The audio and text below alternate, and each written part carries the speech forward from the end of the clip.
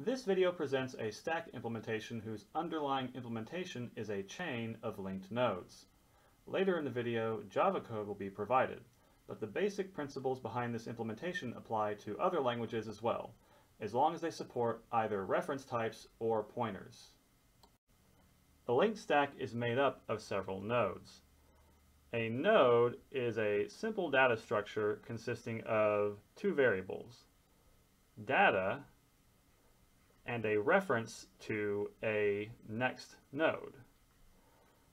Now, this is drawn in simple form here, where we simply assume the first box is the data and the second box is the link to the following node.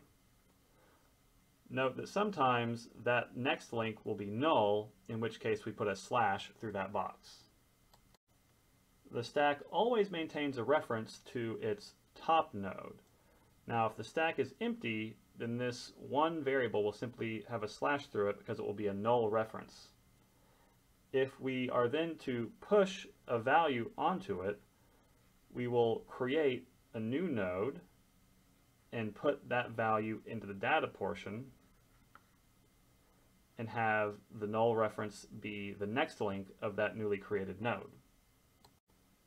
However, in general, when we push something on, what we're actually doing is inserting it between the previous links and this top node reference.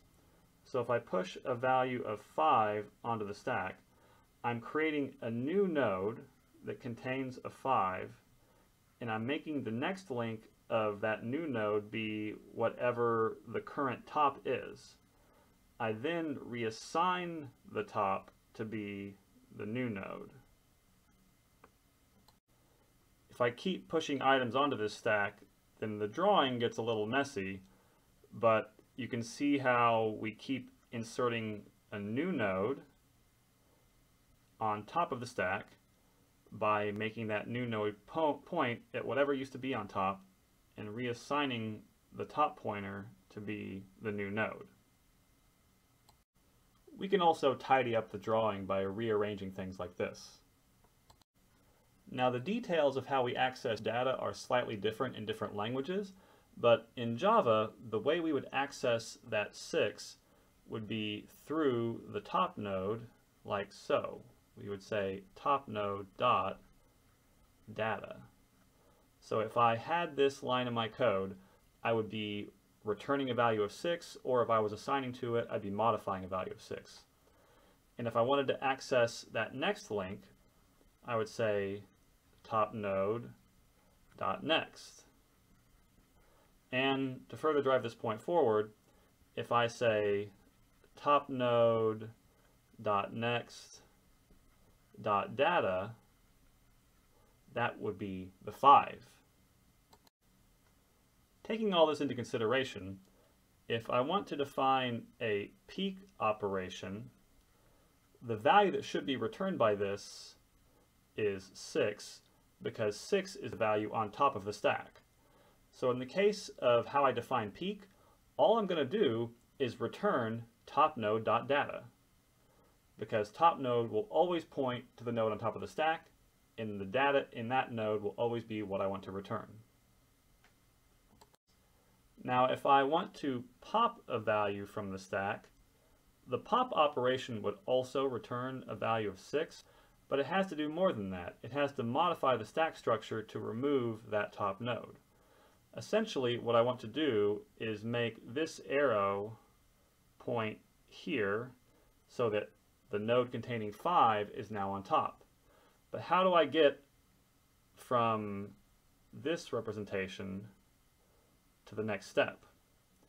Well, I can take top node and change what its value is.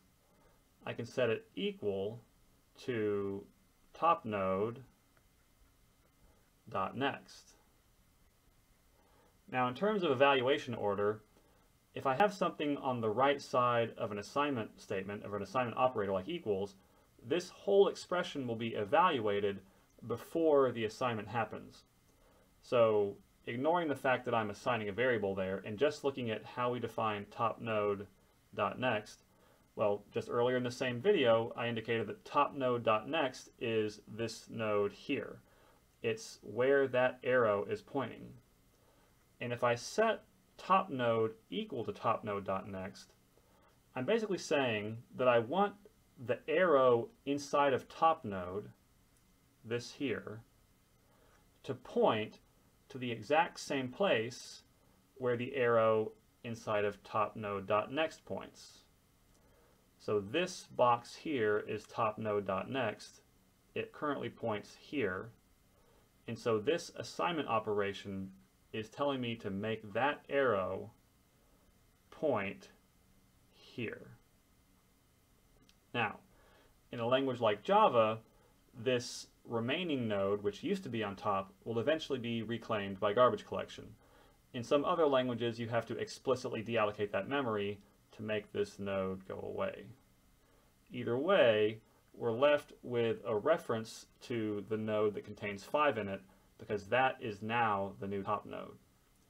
If I were to pop again, that would return a value of 5, and I would change this arrow to point here, and this node would either be explicitly deallocated or, in Java, eventually reclaimed by garbage collection. And now we will discuss the Java implementation of this concept. So notice first that we have a private inner class named node. So this is a class, but it is only visible inside of the link stack. Notice that we have a link stack which has elements of type T the two member variables of the node are data and next.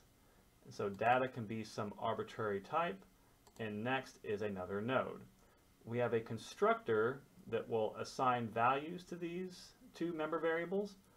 And if you wanted to, you could also define getters and setters, but since this is a private class, it's fairly easy and straightforward to simply access the elements directly the only member variable contained in the class itself is top node.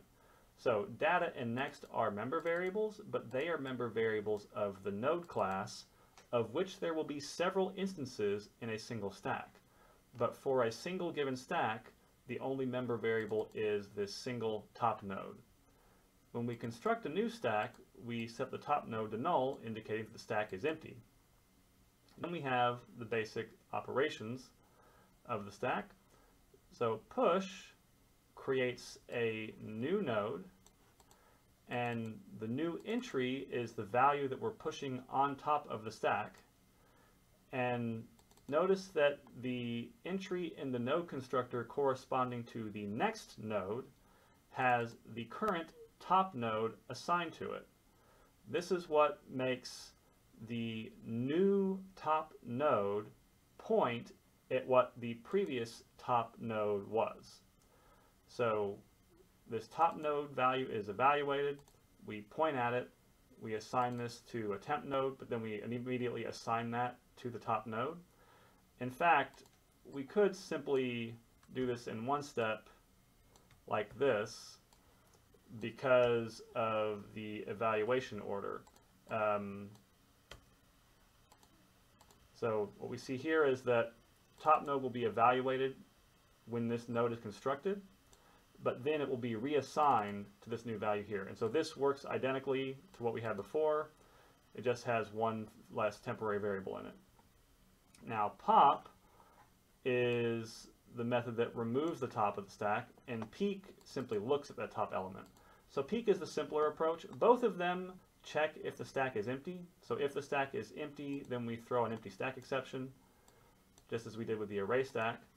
In the case of peek, all we're doing is returning the value of top topnode.data. In the case of pop, we have to first save that result in a temporary variable result before then modifying the stack and then returning our saved result. So this step here evaluates what top topnode.next is so this will not be the top node, but it will be the next node down in the stack. So this expression evaluates to the node that is under the top node.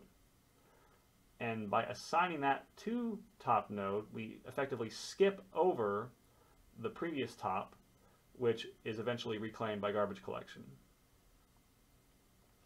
And then we have two convenience methods. One checks if the stack is empty. We can tell by checking if the top node is null. And then to actually clear the stack, we simply set the top node to null. Now, once again, all of those remaining nodes still exist in memory. In fact, even the top node is still in memory, but we've just deleted the reference to it. Eventually, those nodes will be reclaimed by garbage collection. So if you were working in a language that did not support garbage collection, you would have to explicitly deallocate those nodes. But overall, this is a fairly simple stack implementation that doesn't take many lines of code to write.